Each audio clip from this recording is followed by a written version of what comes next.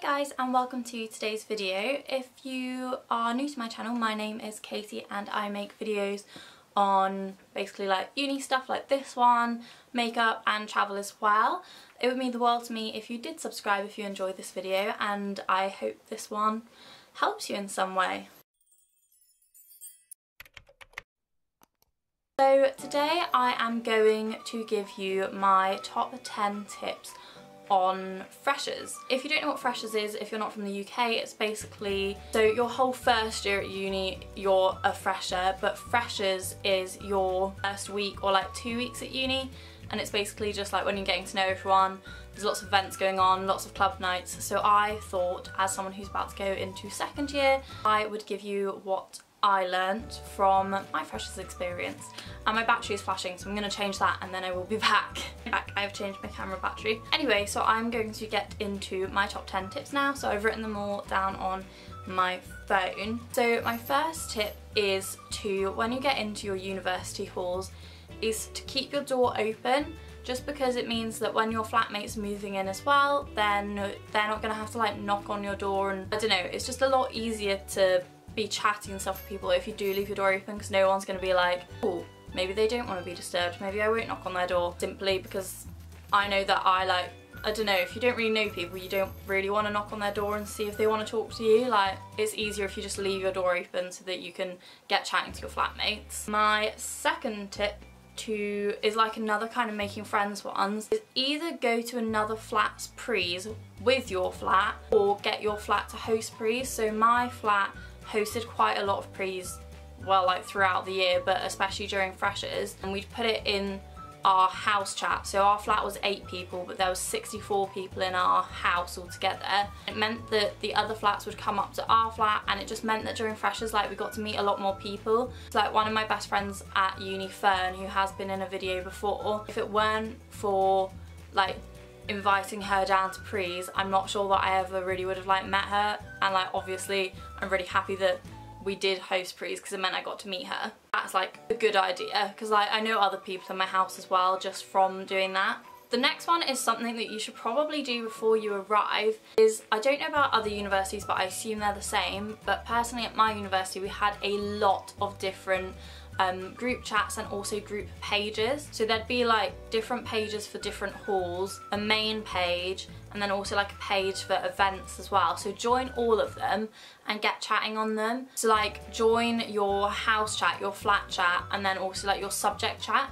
So it means that you can get talking to people before you arrive so you kind of know what everyone else is doing and also it means that it's a little less daunting coming to uni and meeting all these people because you've spoken to them before even if it just is online. But definitely for uni socialising, especially in freshers, Facebook is where it's at. Like I know Facebook is a little bit like old school now but for anything uni related Facebook is where you need to be so just search your uni kind of like I don't know search whatever your uni name is and then freshers and then all the pages will come up and just make sure you join the one with the right year.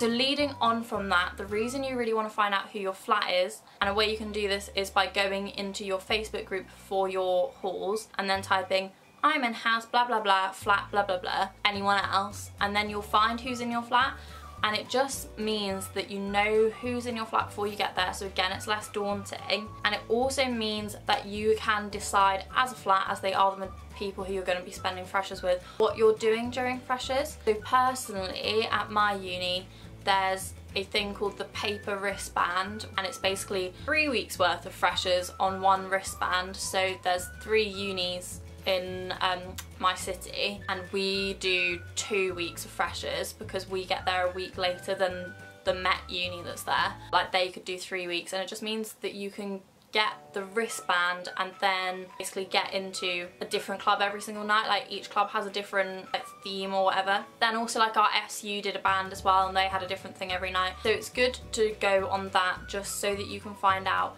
what your flat are doing so you can all buy the same wristband. I know that a lot a lot of people online are like don't buy the wristband. And I don't know why those people say that because honestly um, me and my flat bought paper wristbands and it was well worth the money like we used them had a good time during freshers at all of the different events we went to. So personally I would really recommend that you get the wristband because it means you don't really have to worry about what club you're going to because it's kind of like a schedule is planned out for you. But yeah that's kind of my tip for if you're not sure on whether to get a wristband or not is just get it like it's 30 quid and club entry on the night is like I don't know, like seven or eight pounds anyway, so you might as well just get the wristband. So my next tip is to do with people on your course. So during induction week you have lots of different events, they're not really events, basically different like lectures and stuff tell you what's going on. My tip is just to talk to everyone that you meet during this week so you kind of know who's on your course so that you'll have people to sit next to. And also another way to meet people from your course is to, in your halls of residences chat, type in, is anyone walking to this lecture from this place? And then someone will be like, oh yeah, I don't have anyone to walk with,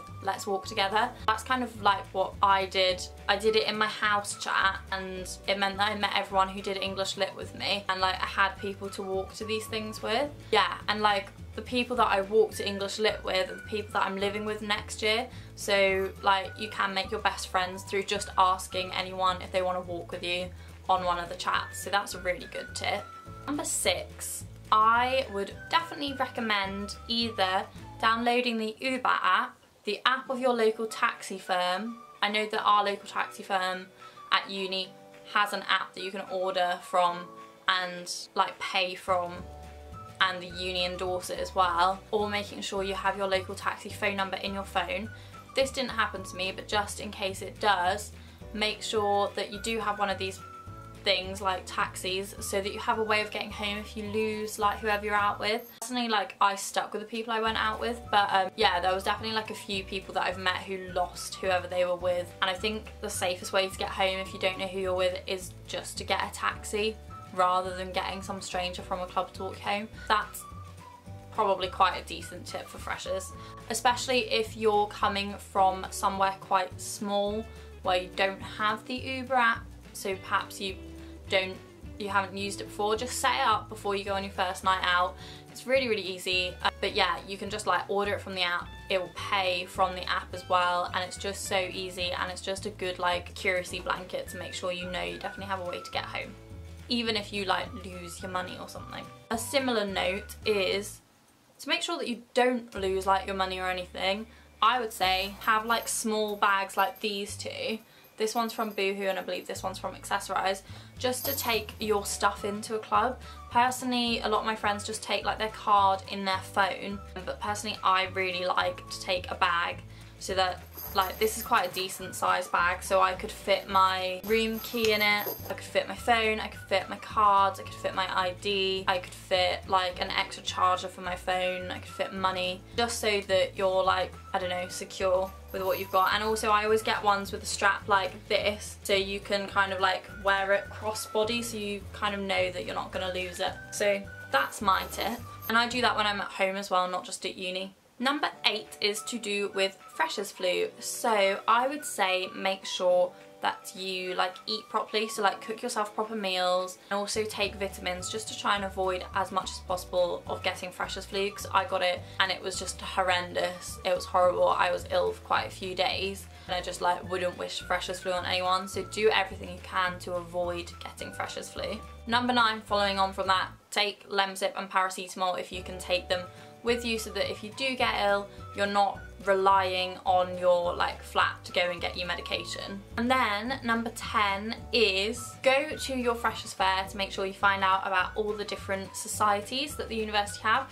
Most universities have loads of different societies ranging from your subject ones to like some of my friends do wild swimming which like they go some remote place and go swim in a river which like I could never do but they really enjoy it um, and then like there's other societies like Vegetarian Society, Fashion Society. But yeah, I definitely recommend going to the Societies Fair and talking to any that you might be interested in to see kind of what they do. So personally, I am part of my English Lit and Philosophy Societies and then also the Fashion Society as well, which I joined kind of like later in the year, but that one was a really good one because they did a lot of like makeup classes with Urban Decay that like we only had to pay like five pounds for. Yeah, they were really good. So I definitely recommend that you join societies because it's also another way to meet different people and also just to make your uni experience a little bit like more diverse and fun. You've got loads of different social activities going on. And definitely make sure that you're liking all of your societies like Facebook page, Twitter page, Instagram page so you know everything that's going on. Personally, I am the new social media rep for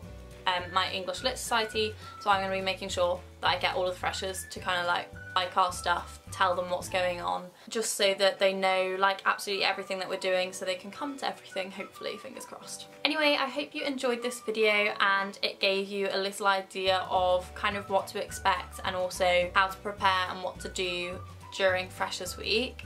If you yourself have done freshers already, please leave down in the comments below for anyone who hasn't yet any other tips that I haven't said that you think would help out and also if you are about to become a fresher let me know down below if you have any questions about freshers weeks or just uni in general and I can answer them for you. Please don't forget to like, comment and subscribe as well as it would mean the world to me and also all of my other social media is linked down below especially my Instagram because I'm about to go to Paris and Budapest and Bali so like my Instagram should hopefully be on its game very very soon so I'd appreciate a little follow over there if you didn't mind. And anyway I will see you in my next video.